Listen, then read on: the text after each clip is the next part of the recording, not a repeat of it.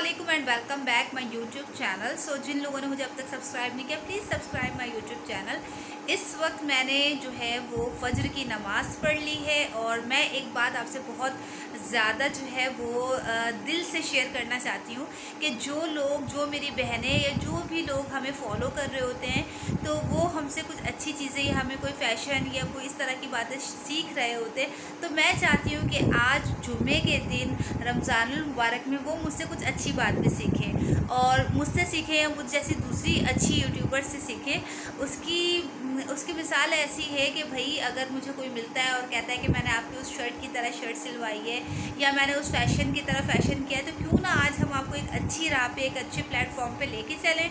क्योंकि जी, आज जो है वो जुमे का दिन है और मतलब अभी जो है वो मैंने सबसे पहले तहजद की नमाज़ पढ़ी। तहजद की नमाज़ पढ़ने के बाद मैंने कुरान शरीफ की तिलावत की।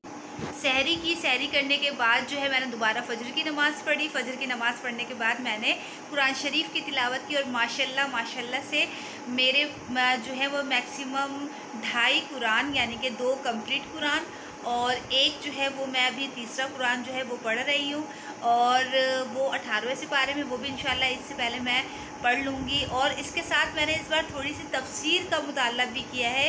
और ये बात बहुत खुशी की बात है कि हम लोग अपने घर में तमाम बच्चों के साथ जो है, वो अपने घर में काम करने के बाद ये सारी चीज़ें कर रहे होते हैं। तो आप भी हमसे कुछ अच्छी चीज़ें सीख के जाएँगे तो हमें अच्छा लगेगा। अच्छा पीछे देखें, अभी आपको मैं एक और चीज़ दिखाऊँ।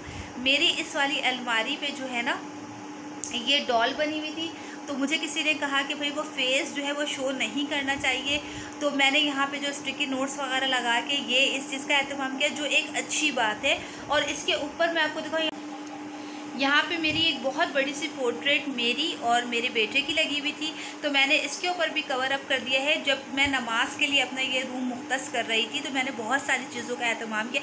ये छोटी छोटी चीज़ें होती जिसे हम इग्नोर कर देते हैं और इसके साथ मैं आपको एक और चीज़ बताऊँ। यहाँ पर जो है, यहाँ पर बहुत सारे जो है ना Barbie teddy bear Barbie doll और इस तरह की चीज़ें हैंग हुई हुई थी वो सारा कुछ मैंने निकाल के रमज़ान मुबारक में अपनी तरफ़ से मैंने बहुत दिल से ये सारी तैयारी की है, और दिल से मैंने सारी चीज़ें की। अल्लाह पाक मेरी टूटी फूटी इबादतों को कबूल करे। अच्छा एक और मैं आपको बताऊँ कि मैं ये सारी बातें क्यों इस प्लेटफॉर्म पे आके कर रही हूँ, क्योंकि जो लोग हमें फॉलो करते हैं, वो ये चीज़ भी फॉलो करें। अच्छा एक और देखें, मेरे हाथ काउंटर है, और इस पर मैंने मैक्सिमम बीस हज़ार दो सौ उनतीस आप देख लें। ये मैंने फ़र्स्ट रमज़ान जब अनाउंसमेंट हुई थी अजान।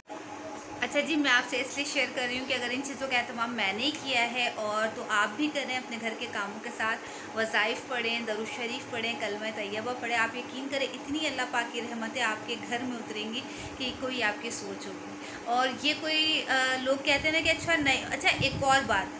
अगर कोई भी बंदा या बंदी इस्लाम की तरफ़ अपने तमाम गुस्ताखियों को अपनी तमाम गुनाहों को भूल कर आ रहा होता है तो अल्लाह पाक उससे वेलकम करते हैं। अल्लाह पाक जो है उसे खुश आमदीद कहते हैं। और हमारे यहाँ क्या होता है, लोग यही बोलते हैं कि अच्छा अभी नई नई जो है वो नमाजी बनी है या इस तरह के जो भी बैड कमेंट्स होते हैं प्लीज़ मत करिएगा ताकि वो मज़ीद कुछ खुश आइन चीज़ें कर सकें।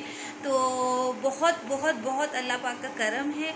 शुक्र है मेरे मौला का कि इतनी सारी जो दुआएँ हमने मांगी हैं, वो अल्लाह पाक अपनी बारगाह रसालत में कबूल करे। एक बात और, अपनी मरहुमीन के लिए जिनके पेरेंट्स जिनके भाई बहन जिनके औलादे अल्लाह पाक ने अपने या रहलत फरमा गए अल्लाह पाक, उनको भी अपने दामन में, अपने जन्नतफरदौस में अला मुकाम दे और मेरी दुआओं को कबूल करें और इसके साथ ही आप लोग मेरे चैनल सब्सक्राइब कर लें और अल्लाह हाफ़